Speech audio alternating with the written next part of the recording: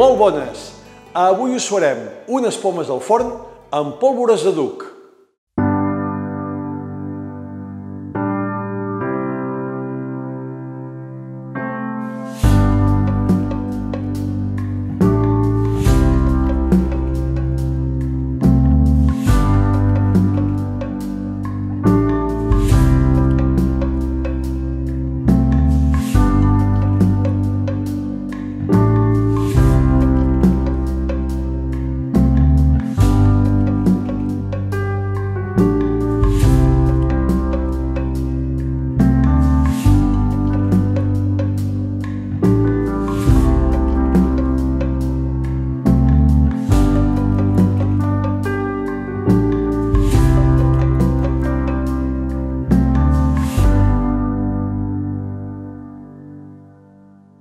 Bé, i ara que heu vist com hem fet aquestes pomes, anem cap a Palau Setó a conèixer el seu origen.